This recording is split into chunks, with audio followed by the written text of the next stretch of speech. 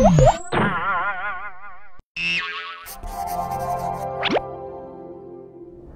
Hallo und herzlich willkommen, ich bin's mal wieder, der Matt Jackson von Android TV mit einem neuen First View in Touch Video. Heute mal etwas ungewöhnlich, kein Smartphone und kein Tablet, dennoch eine, ein Gerät mit Android äh, Betriebssystem drauf, um genau zu sein 4.1.1 Jelly Bean. Und wir haben hier vor uns die Galaxy Camera mit der genauen Typenbezeichnung EK-GC100. Und äh, wie bei uns üblich, werden wir mal ein bisschen um das Gerät rumgehen. Äh, bei der Kamera heute nicht ganz so viel erzählen, was was ist und äh, kurz noch auch auf das Gerät eingehen. Ähm, das ist ja schon ein etwas ungewöhnliches Gerät, was jetzt hier Samsung uns äh, äh auf dem Unpacked Event in Berlin vorgestellt hat. Wir haben das Gerät mal da. Von der Farbe her ist es so leicht bläulich. Ich weiß nicht, ob man es sehen kann. Es gibt es auch noch in weiß, konnte man auch sehr schön auf der IFA sehen. Gut, schauen wir uns das Gerät mal an. Hier vorne haben wir also wie gesagt das Objektiv. Die Kamera hat ein 21-faches Objekt, äh, optisches Objektiv. Ähm, und äh, hier vorne haben wir noch den äh, Belichtungsmesser, den Sensor. Und ansonsten haben wir hier von der Vorderseite erstmal weiter gar nichts. An der Seite haben wir hier unten den Lautsprecher. Ja, und daneben, das hat mich erstmal ein wenig Verzweiflung gekostet, den überhaupt zu finden. Äh, das ist der, der, die Öffnung für das Blitzlicht, was dann hier oben rauskommt. Ja, ähm, ich habe natürlich immer versucht, den Blitz ähm, ähm, per Software einzuschalten. Das funktioniert natürlich bei einer Kamera in dem Sinne nicht. Man muss sich schon ein wenig umgewöhnen, ähm, was man denn jetzt hier eigentlich nun in der Hand hat, da es ja eigentlich auch ein Zwitter zwischen einem äh, Android-Device und einem äh, Fotoapparat ist. Nicht?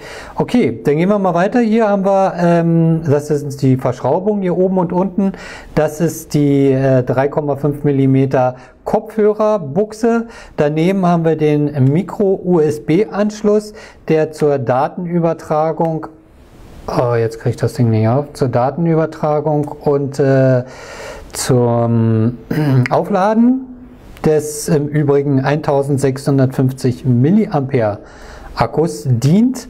Und hier, das ist äh, so ein kleines Loch, womit man äh, so eine Schlaufe ranmachen kann, damit man den Fotoapparat gut tragen kann. So, hier unten haben wir ähm, einmal die Öffnung für einen äh, HDMI-Eingang bzw. Ausgang. Das können wir auch mal richtig öffnen. So. Dann befindet sich hier drin der Akku. Ich hoffe, ihr könnt das sehen. Hier ist wie gesagt der Akku. Daneben haben wir Micro SD Card Slot. Äh, ich hoffe, verwechsel das jetzt nicht, ich kann das gerade nicht so richtig sehen. Ja, Hier kommt die Micro SD-Karte, die Speicherkarte rein und hier kommt eine SIM-Karte rein. Und zwar auch eine Micro-SIM-Karte. Und damit äh, haben wir auch schon geklärt, das ist wie gesagt der HDMI-Ausgang, äh, damit haben wir an sich auch schon geklärt, ähm, dass man mit dem Ding nämlich zwar nicht telefonieren kann, aber man kann halt ins Internet, um beispielsweise Fotos in die Cloud zu schicken oder ähnliche Dinge zu machen, wenn man unterwegs ist. Hier hier haben wir die Aufnahme für ein Stativ. An der Seite waren wir schon, vorne waren wir auch schon. Okay, dann kommen wir jetzt mal, ach, zur Oberseite noch. Hier ist wie gesagt die äh, Öffnung von dem beziehungsweise das Blitzlicht, was hier ausfährt. Daneben haben wir den An- und Ausschalter und dort ist das Mikrofon. Ja, ich hoffe, das sieht man jetzt nochmal im Licht. Und hier haben wir ähm, die Multifunktionstaste, die sich so nach rechts und links drehen lässt. Das ist also einmal lauter leiser, wir sehen es hier schon, plus minus lauter leiser oder im Fotomodus eben die Zoom-Funktion. Und wenn man hier drauf drückt, ist es gleichzeitig auch der Auslöser für die Kamera. Über diesen Button könnte man im Übrigen auch schnell die Kamera öffnen, also sofort in den Kameramodus kommen, wenn man hier drauf drückt. Wir wollen aber erstmal den üblichen Weg gleich nutzen und den normalen Power-Button. Ähm, und dann sehen wir nämlich auch schon das wunderschöne Display. Wir haben hier ein 4,77 Zoll, das sind also 12,1 Zentimeter in der Diagonalen. HD Super Clear Touch Display, was mit äh, 1280 mal 720 Pixel auflöst. Da wir gerade so ein bisschen in die technischen Details schon eingehen, wollen wir mal gleich noch weitermachen. Dafür öffne ich mal das Antutu, was ich hier mal habe drüber laufen lassen. Hier drin befindet sich nämlich eine 1,4 GHz Quad-Core CPU, die doch einen recht ordentlichen Benchmark-Testwert äh, äh, bringt. Nach dem Test kam der Wert mit 11.932. Ich glaube, das ist schon mal eine ganz ordentliche Ansage. Ähm, gesprochen wird bei den technischen Daten bei diesem Gerät auf der Samsung Galaxy Seite von 8 GB Programmspeicher. Allerdings habe ich hier nur 4 GB gefunden, ähm, hier sowohl im Antutu als auch äh, bei den äh, systeminternen Eigenschaftsdaten, Infodaten. So, hier haben wir nochmal die Typenbezeichnung, hier haben wir nochmal ähm, die Auflösung, welche CPU, GPU, klar ist eine Mali Entschuldigung, könnt ihr das überhaupt sehen? Ah, Mann, ich bin so ein Egoist. So, ja, hier, jetzt weiter. Mali 400 MP, den kennen wir, den Grafikchip, der ist recht ordentlich. RAM würde ich hier mal jetzt bei 756 auf 1 GB tippen. Auch darüber gibt es weiter noch keine Werte. Und hier sehen wir schon, das gute Stück hat also eine 16 Megapixel Kamera. Damit lässt sich schon einiges anstellen. Gut, dann gehen wir auch mal jetzt, äh, ja, ich zeige noch mal ganz kurz hier die, die, die, Oberfläche an sich. Wir haben hier links und rechts äh, zwei statische Icons. Das eine ist die Kamera. Entschuldigung. Das eine, ihr müsst mir aber auch sagen, wenn ich das Ding hier nicht ins Bild halte. Also hier unten haben wir die Kamera, das ist ein statisches Bild, äh, statisches Icon und hier die Menü. Und hier unten haben wir, also rechts an der Seite haben wir Zurücktaste, Home-Taste und unten die Menütaste. Das Ganze wandert auch, wenn ich es in Hochkantmodus nehme, dann habe ich also diese Tasten unten, aber die bleiben wie gesagt weiterhin immer auf dem äh, Display, ja, hier unten fest. Wir haben jetzt hier eingestellt ähm, drei Screens. Man kann die aber auch noch erweitern in äh, mehr Screens, je nachdem, wie man das gerne möchte. Ihr seht auch schon hier oben Google, also mit Jelly Bean habe ich hier natürlich auch Google Now drauf äh, installiert. Hier dieses Icon, das habe ich nachträglich installiert. Schauen wir uns auch mal die Benutzerleiste an. Die ist recht umfangreich. Äh, ziehen wir mal hier rüber. Mit äh, All-Share Cars, klar, wenn man hier drauf Fotos machen kann, dann kann man die auch super verschicken, Helligkeit und so weiter. Das hier unten, das ist von meinem äh, äh, Widget, meinem Battery Widget äh, und da unten haben wir die, die Wetteranzeige, die Wetterkarte von äh, Jelly Bean, also Google Now. Ne? So, hier oben mit Uhrzeit und so, da kommt man in die Einstellungen. Ähm, ja, sieht ganz ordentlich aus. So, gibt es noch was zum Homescreen zu sagen? Äh, erstmal eigentlich nicht. Na, gehen wir jetzt auch mal in die Kamera rein, denn das ist ja eigentlich das Wichtigste an dem ganzen Stück hier, an dem guten. So, da sind wir auch schon. Oben haben wir Bat Batterieanzeige. Hier kommen wir immer zurück in, in das Hauptmenü über die, äh, über den, über die äh, Ah, über die Haustaste. Äh, was ist denn los hier heute? Entschuldigt mich, es ist noch früh am Morgen. so, dann haben wir hier, dieser Auslöseknopf ist für den Videomodus. Hier unten kommen wir in die Gallery von den vorhandenen Fotos.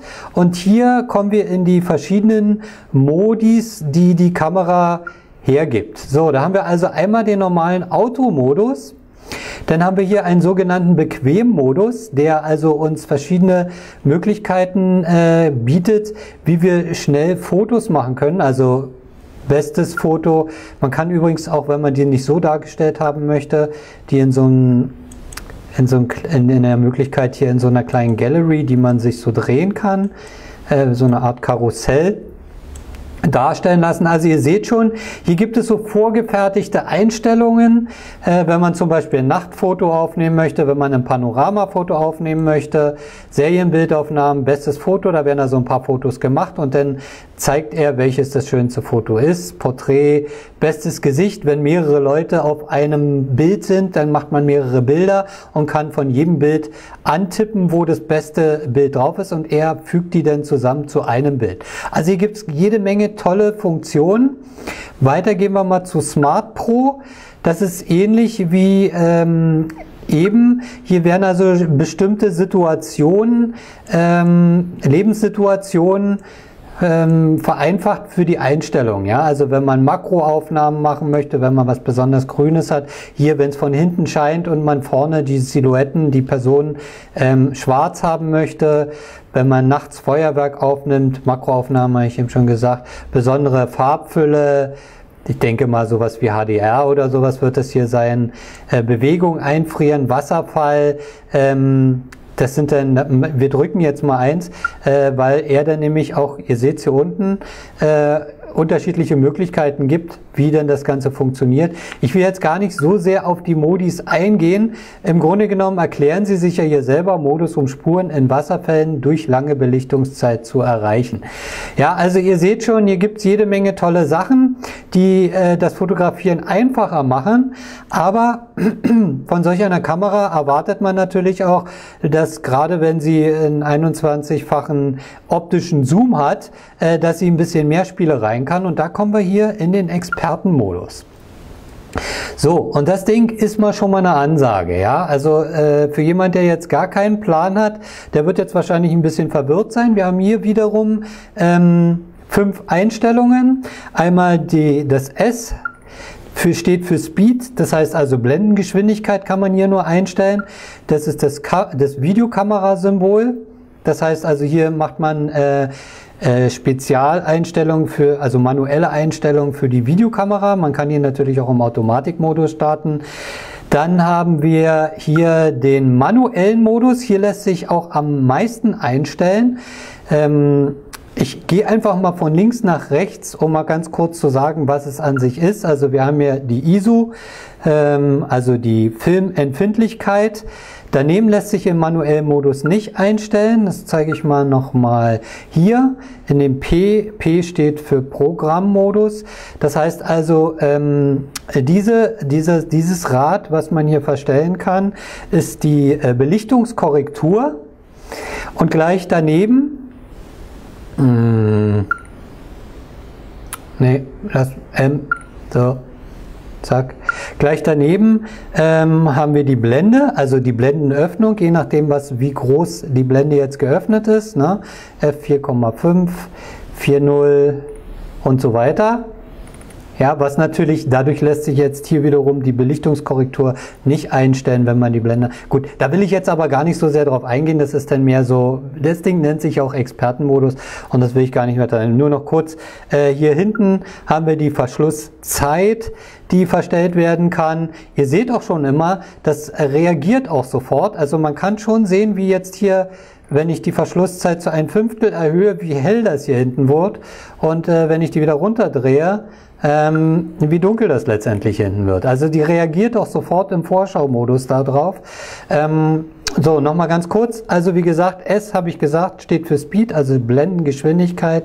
Das ist der manuelle Videokameramodus. M ist generell für manuell, wo man die meisten Einstellungen manuell einstellen kann.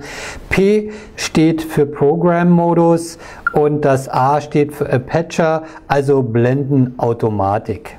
Ja, so. S haben wir schon gesagt, Speed. Blendengeschwindigkeit. So, also das sind die ganzen Einstellungen von der Kamera an sich. Das sind wirklich eine ganze Menge und wir haben auch schon ein bisschen damit rumgespielt mit der Kamera ähm, und diesen Einstellungen. Die funktionieren wirklich wunderbar. Das ist jetzt hier wirklich also ein bisschen übertrieben, deswegen gehe ich mal schnell in den Automatikmodus.